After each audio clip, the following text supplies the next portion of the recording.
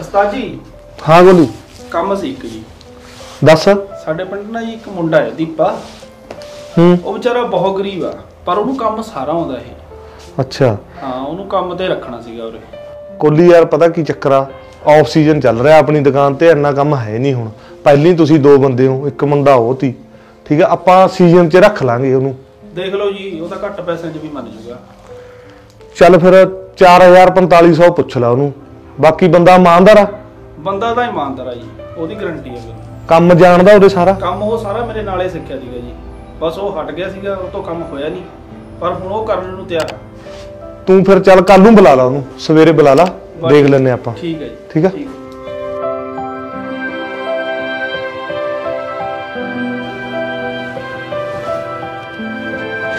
लो भैया आपका काम खत्म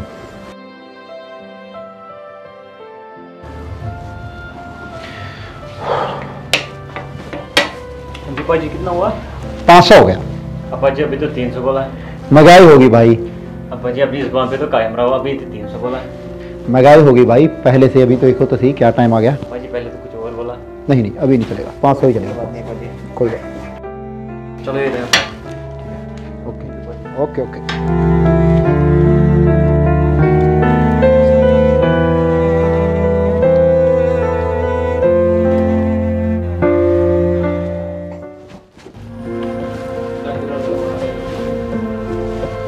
ਲੈ ਵੀਰੇ ਓਕੇ ਆ ਕੰਮ ਤੇਰਾ।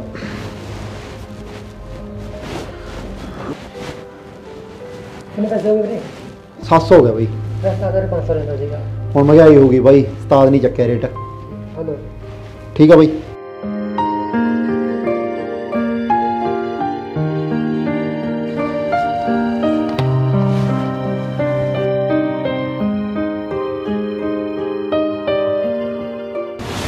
ਬਾਈ ਯਾਰ ਆ ਤੇਰੇ ਵਾਸਤੇ ਗਲਤ ਗੱਲ ਆ ਦੀਪੇ ਯਾਰ।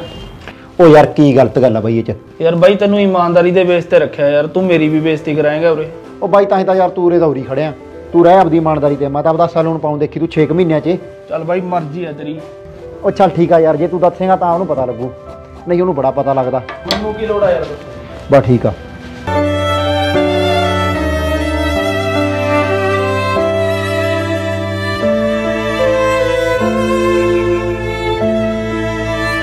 ਲਓ ਜੀ ਹੋ ਗਿਆ ਆਪਣਾ। ਕਿੰਨੇ ਪੈਸੇ ਉਹਦੀ ਪੇ? 500 ਹੋ ਗਿਆ ਜੀ।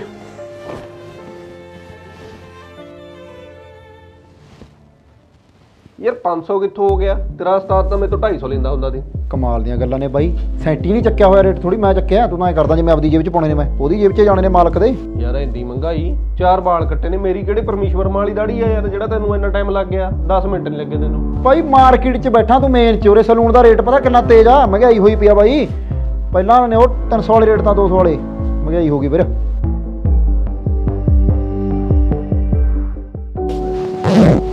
ਆ ਲੈ ਫੜ 200 300 ਰੁਪਏ ਮੈਂ ਤੇਰੇ ਉਸਤਾਦ ਨੂੰ ਹੀ ਦੇ ਦੂੰਗਾ ਆਪੀ।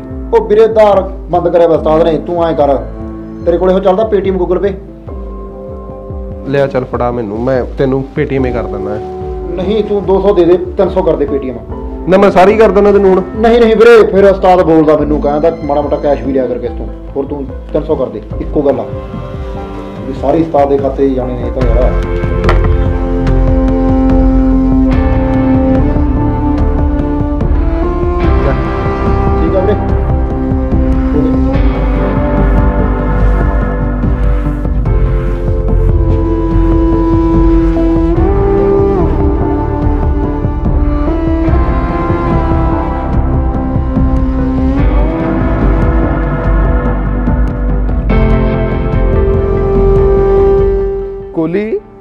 ਤੂੰ ਕਿਵੇਂ ਬੈਠਾ ਇੱਥੇ? ਕੀ ਸੋਚੀ ਜਾਂਦਾ?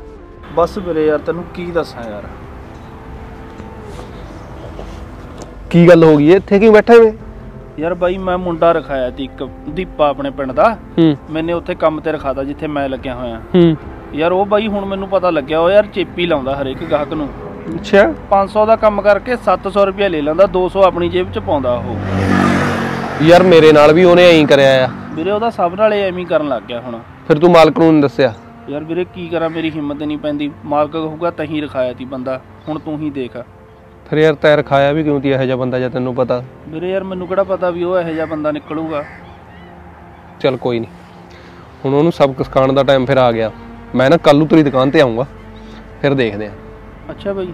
ਹਾਂ ਤੈਨੂੰ ਸੌਖਾ ਕਰਕੇ ਜਾਊਂਗਾ ਟੈਨਸ਼ਨ ਨਾ ਦੇ ਚੱਲ ਠੀਕ ਆ। ਤੇਰੇ ਮਨ ਤੇ ਜਿਹੜਾ ਬੋਝ ਆ ਨਾ ਇਹਨੂੰ ਹਲਕਾ ਕਰ ਦੇਣਾ ਆਪਾਂ ਨੇ।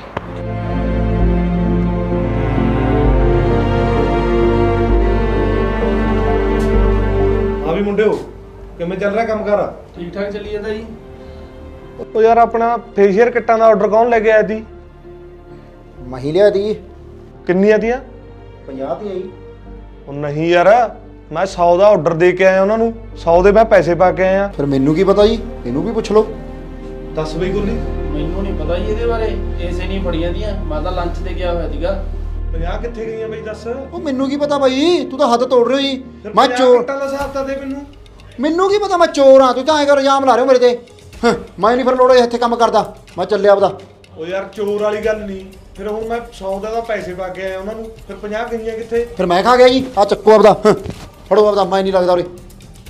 ਮੈਂ ਚੋਰ ਆ ਤੂੰ ਤਾਂ ਐਂ ਕਰੋ ਮੇਰੇ ਤੋਂ ਕੀ ਹਿਸਾਬ ਮੰਗਦੇ ਹੋ? ਉਹ ਨਹੀਂ ਯਾਰ ਬਾਈ ਆਪਣਾ ਸੀਜ਼ਨ ਦਾ ਟਾਈਮ ਆ ਤੂੰ ਮੈਨੂੰ ਭੁਲੇਖਾ ਲੱਗ ਗਿਆ ਹੋਣਾ ਚੱਲ ਮੈਂ ਦੇਖਦਾ। ਮੈਂ ਠੇਕਾ ਲਿੱਤਾ ਹੀ ਸੀਜ਼ਨ ਦਾ ਤੁਸੀਂ ਅੱਜ ਇਲਜ਼ਾਮ ਐਡਾ ਲਾਤਾ ਮੇਰੇ ਤੇ। ਮੈਂ ਚੋਰ ਆ ਕਿਤੇ। ਮੈਂ ਚੱਲਿਆ ਫਿਰ। ਖੜ ਖੜ ਚੱਲਿਆ ਕਿੱਥੇ ਇੱਥੇ ਖੜ। ਬਾਈ ਇਹ ਬੰਦਾ ਸਿਰੇ ਦਾ ਚੋਰ ਹੀ ਆ। ਤੂੰ ਮੇਰੇ ਤੋਂ ਦਾੜੀ ਕਟਿੰਗ ਦੇ ਕਿੰਨੇ ਪੈਸੇ ਲੈਣਾ ਹੁੰਦਾ? ਮੈਂ ਯਾਰ 300 ਰੁਪਏ ਬਾਈ। ਇਹ ਤੋਂ ਪੁੱਛੀਏ ਕਿੰਨੇ ਲੈਂਦਾ ਆ? ਤੈਨੂੰ ਸੂਈ ਲੈਣਾ ਜੀ ਮੈਂ ਵੀ ਹੋਰ ਕਿੰਨੇ ਕੁ ਲੈਣਾ? ਬਾਈ ਇਹਨੇ ਮੇਰੇ ਤੋਂ 500 ਰੁਪਿਆ ਲਿਆ ਆ। ਤੇ ਮੇਰੇ ਤੋਂ ਕੱਲੇ ਤੋਂ ਨਹੀਂ ਜਿੰਨੇ ਵੀ ਤੁਹਾਡੇ ਕਸਟਮਰ ਨੇ ਉਹਨਾਂ ਤੋਂ ਦੁੱਗਣੇ ਪੈਸੇ ਲੈਂਦਾ ਇਹ। ਅੱਧੇ ਆਪਣੀ ਜੇਬ 'ਚ ਪਾਉਂਦਾ ਹੈ ਅੱਧੇ ਤੁਹਾਡੇ ਗੱਲੇ 'ਚ। ਇਹ ਤਾਂ ਹੀ ਉਹੀ ਮਰੀ ਜਾਂਦਾ ਆ। ਇਹਦੀ ਮੈਂ ਦਾੜੀ ਨਹੀਂ ਵਧੀਆ ਕੱਟਣੀ ਵਾਲਾ ਇਲਜ਼ਾਮ ਹੈ ਯਾਰ ਆ ਬਾਈ ਨੂੰ ਪੁੱਛਣ ਮੇਰਾ ਯਾਰ ਦੋਸਤ ਹੈ ਇਹ। ਕਦੇ ਹੈ ਜਾਂ ਮੈਂ ਬੇਈਮਾਨਾ ਕਰਿਆ ਹੋਵੇ। ਦੱਸ ਕੋਲੀ ਤੂੰ ਦੱਸ। ਜੇ ਮਾੜਾ ਮੋਟਾ ਤੇਰੇ 'ਚ ਹੈਗੀ ਇਮਾਨਦਾਰੀ ਤੂੰ ਤਾਂ ਦੱਸ ਇਹਦੇ ਬਾਰੇ ਸੱਚ। ਤੂੰ ਤਾਂ ਦੁਕਾਨ 'ਚ ਹੀ ਰਹਿਣਾ ਤੈਨੂੰ ਤਾਂ ਪਤਾ ਹੋਊਗਾ ਸਭ। ਹਾਂ ਦੱਸ ਕੋਲੀ ਇਹਨਾਂ ਤੋਂ ਲੜਨ ਦੀ ਲੋੜ ਨਹੀਂ ਕੋਈ। ਹਾਂਜੀ ਉਸਤਾਦ ਜੀ ਕਰਦਾ ਜੀ ਇਹ ਜੇ ਕੰਮ। ਸੌਰੀ ਜੀ ਮੈਂ ਤੁਹਾਨੂੰ ਪਹਿਲਾਂ ਦੱਸ ਨਹੀਂ ਸਕਿਆ। 700 ਰੁਪਏ ਲੈ ਕੇ 200 ਆਪਣੀ ਜੇਬ 'ਚ ਪਾਉਂਦਾ 500 ਰੁਪਏ ਪਾਉਂਦਾ ਗੱਲੇ 'ਚ। ਮੈਂ ਕਈ ਵਾਰ ਇਹਨੂੰ ਆਪਣੀ ਅੱਖਾਂ ਨਾਲ ਦੇਖਿਆ। ਯਾਰ ਕੋਲੀ ਤੈਨੇ ਇਹੋ ਜਿਹੇ ਬੰਦੇ ਨੂੰ ਕਿਉਂ ਰਖਾਇਆ ਮੇਰੀ ਦੁਕਾਨ ਤੇ ਬਾਈ? ਬਾਈ ਯਾਰ ਮੈਨੂੰ ਪਹਿਲਾਂ ਪਤਾ ਨਹੀਂ ਸੀਗਾ ਜੀ ਵੀ ਇਹ ਇਹੋ ਜਿਹਾ ਬੰਦਾ। ਕਿਉਂ? ਹੁਣ ਦੱਸ। ਕੀ ਕੀ ਪਲਾਨ ਨੇ ਤੇਰੇ? ਕੀ ਸੋਚ ਸੋਚ ਕੇ ਕਰਦਾ ਸੀਗਾ ਇਹ ਬੇਈਮਾਨਾ ਤੂੰ ਆਪਣੇ ਮਾਲਕ ਨਾਲੇ ਬੇਈਮਾਨਾ ਜਿਹਨੇ ਤੈਨੂੰ ਆਪਣੇ ਕੰਮ ਤੇ ਰੱਖਿਆ। ਤੈਨੂੰ ਰੋਟੀ ਦਿੱਤੀ ਤੇਰਾ ਘਰ ਚੱਲਦਾ ਹੋਇਆ ਜਿਸ ਦੇ ਸਿਰ ਤੋਂ ਹੁਣ ਤੂੰ ਉਸੇ ਨੂੰ ਟਾਂਕਾ ਲਾਏਗਾ। ਚੱਲਦਾ ਬਈ ਇੰਨਾ ਕੁ ਤਾਂ। ਹਰੇਕ ਕਰਦਾ ਹੋਣਾ ਮੈਂ ਇਕੱਲਾ ਥੋੜੀ ਕਰਦਾ। ਉਹ ਚੱਲ ਨਿਕਲ ਜਾ ਯਾਰ ਇੱਥੇ। ਹੱਥ ਜਾ ਨਾ ਲਾ ਜੀ। ਸਮਝ ਨੂੰ ਸਮਝਾਤਾ ਮੈਂ। ਤੂੰ ਆਕੜ ਜੀ ਕਿਹਨੂੰ ਦਿਖਾਉਣਾ ਫਿਰ? ਆਕੜ ਨੂੰ ਮੈਂ ਤੁਹਾਨੂੰ ਕੀ ਦਿਖਾ ਰਿਹਾ? ਮੈਨੂੰ ਕੋਈ ਕੰਮ ਦੀ ਘਾਟ ਆ। ਬਥੇਰਾ ਕੰਮ ਆ ਮੈਨੂੰ। ਲੱਭ ਨੂੰ ਮੈਂ ਕਿਤੇ ਹੋਰ। ਓਏ ਜੇ ਤੈਨੂੰ ਚਾਹਣਾ ਨਾ ਮੈਂ ਹੁਣੇ ਤੈਨੂੰ ਪੁਲਿਸ ਨੂੰ ਚੁਕਾ ਸਕਦਾ। ਪਰ ਤੇਰੇ ਵਰਗੇ ਘਟੀਆ ਬੰਦੇ ਦੀ ਮੈਂ ਸ਼ਕਲ ਨਹੀਂ ਦੇਖਣਾ ਚਾਹੁੰਦਾ। ਚਲੋ ਠੀਕ ਆ ਜੀ। ਮੈਂ ਵੀ ਆ ਦੁਕਾਨ ਡੀ 'ਚ ਕੰਮ ਕਰ ਕਰਕੇ ਆਵਦੀ ਮਤਾ ਆਪਦਾ ਸਲੂਨ ਠੋਕੂ ਦੇਖੀ ਕੱਡਾ ਬਣਾ ਉਹ ਜਾ ਤੂੰ ਮੈਂ ਦੇਖਾਂਗੇ। ਕੋਈ ਨਹੀਂ ਬਾਈ ਕੋਈ ਨਹੀਂ। ਕੰਮ ਦੀ ਨਾ ਟੈਨਸ਼ਨ ਲਿਆ ਕਰੋ। ਪਰ ਬੰਦਾ ਇਮਾਨਦਾਰ ਰੱਖਿਆ ਕਰੋ ਕੰਮ ਦੇ ਉੱਤੇ। ਉਹਨੂੰ ਕਰਨ ਦੇ ਕੰਮ ਹਜੇ ਉਹਨੂੰ ਨਵੇਂ ਕੰਮ ਦਾ ਜਨੂਨ ਆ। ਜਦੋਂ ਫੀਲਡ 'ਚ ਗਿਆ ਨਾ ਉਹਨੂੰ ਪਤਾ ਲੱਗੂਗਾ ਕਿਸ ਭਾਅ ਵਿਕਦੀ ਆ। ਸਹੀ ਗੱਲ ਆ ਬਾਈ। ਇਹੋ ਜਿਹਿਆਂ ਨੂੰ ਅੱਗੋਂ ਹਜੀ ਟੱਕਰਦੇ ਨੇ ਜੁਗ ਨੂੰ ਜੁਗ ਉਹ ਯਾਰ ਬਾਈ ਮੈਂ ਤਾਂ ਕੋਲੀ ਦੇ ਭਰੋਸੇ ਰੱਖ ਲਿਆ ਬੰਦਾ ਯਾਰ। ਇਹ ਕਹਿੰਦਾ ਮੇਰਾ ਆੜੀ ਆ ਮੈਨੂੰ ਕੀ ਪਤਾ ਸੀ ਹੁਣ? ਹੁਣ ਇਹ ਵੀ ਤਾਂ ਬੰਦਾ ਇਮਾਨਦਾਰ ਆ ਯਾਰ। ਅਸਲ 'ਚ ਨਾ ਉਹਨੂੰ ਲੱਗੀ ਹੋਈ ਆ ਹਵਾ ਨਵੇਂ ਸਲੂਨ ਦੀ ਵੀ ਮੈਂ ਆਪਣਾ ਕੰਮ ਕਰੂੰਗਾ। ਕੋਈ ਨੀ, ਤੂੰ ਚੱਲ। ਕਰੇ ਜਦ ਤੋਂ ਤੁਹਾਨੂੰ ਪਤਾ ਲੱਗੂਗਾ। ਹਾਂ ਪਤਾ ਲੱਗੂਗਾ ਬਾਈ। ਹੂੰ।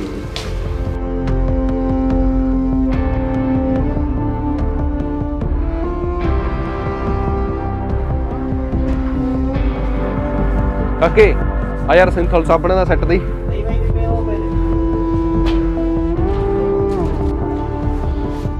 ਲੈ ਵੀਰੇ ਬਾਈ ਤੂੰ ਇੱਥੇ? ਹਾਂ ਬਾਈ ਇੱਥੇ। ਛੇਤੀ ਉਹ ਅਕਲ ਆ ਗਈ ਬਾਈ। ਕੀ ਹੋ ਗਿਆ? ਬਸ ਬਾਈ ਆਪਦਾ ਸਲੂਨ ਪਾਇਆ ਤੀ। ਮੈਂ ਕਿਹਾ ਚੱਲ ਵੱਧ ਪੈਸਾ ਕਮਾਵਾਂਗੇ ਵੱਡਾ ਸਾਰਾ ਕੰਮ ਤੋਰਾਂਗੇ ਹੋਰ ਇਦੋਂ ਵੱਡਾ। ਬਸ ਦੋ ਤਿੰਨ ਮੁੰਡੇ ਰੱਖ ਲਏ। ਉਹ ਪਤੰਦਰ ਮੇਰੇ ਵਰਗੀ ਨਿਕਲੇ। ਮੇਰੇ ਨਾਲ ਠੱਗੀ ਲਾ ਕੇ ਸਾਰੇ ਕੰਮ ਬਾਈ ਥੱਲੇ ਨੂੰ ਆਇਆ। ਦੱਬ ਬੰਦ ਕਰਕੇ ਆਉਣਾ ਪੈ ਗਿਆ, ਕਿਰਾਇਆ ਵੀ ਨਹੀਂ ਨਿਕਲਿਆ ਉੱਥੇ। ਆਹ ਬਾਈ ਨੇ ਰੱਖ ਲਿਆ ਵਿਚਾਰੇ ਨੇ। ਚੱਲ, ਤੈਨੂੰ ਤੇਰੀ ਗਲਤੀ ਦਾ ਅਹਿਸਾਸ ਤਾਂ ਹੋਇਆ। ਉਹ ਕਮਲਿਆ ਤੈਨੇ ਇਹ ਨਹੀਂ ਸੋਚਿਆ, ਤੂੰ ਕਿਸ ਨਾਲ ਬੇਈਮਾਨਾ ਕਰ ਰਿਹਾ ਹੈ? ਤੂੰ ਉਸ ਘਰ 'ਚ ਠੱਗੀ ਮਾਰ ਰਿਹਾ, ਜਿਸ ਘਰ ਨੇ ਤੈਨੂੰ ਛੱਤ ਬਖਸ਼ੀ। ਹਨਾ?